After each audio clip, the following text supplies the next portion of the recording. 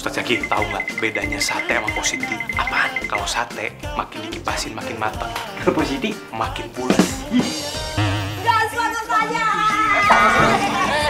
Positi, bayinya mana bayi? Tadi mpok dibekep di jalan, terus menculiknya ngambil ini bayinya, Pak Ustadz. Iya. Kalau aku bisa selamatin bayinya, aku pasti bakal dapet uang yang lebih.